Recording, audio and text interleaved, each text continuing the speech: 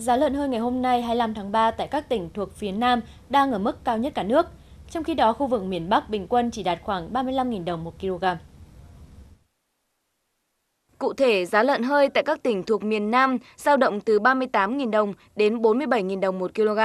Các tỉnh như Long An, Cần Thơ, Cà Mau, Trà Vinh, Sóc Trăng có giá cao nhất vùng, giao động từ 44.000 đồng một kg đến 47.000 đồng một kg. Đồng Nai, Thành phố Hồ Chí Minh, Bến Tre có giá tương đối thấp khi được thương lái thu mua quanh mức giá 40.000 đồng một kg. Giá lợn hơi các tỉnh miền Trung giao động từ 31.000 đồng đến 43.000 đồng một kg. Khánh Hòa, Lâm Đồng, Ninh Thuận đang là những địa phương có mức giá tốt từ 40.000 đồng một kg đến 43.000 đồng một kg.